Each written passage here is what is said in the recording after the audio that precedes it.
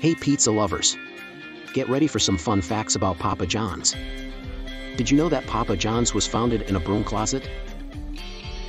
Papa John's founder, John Schnatter, sold his Camaro to buy pizza equipment.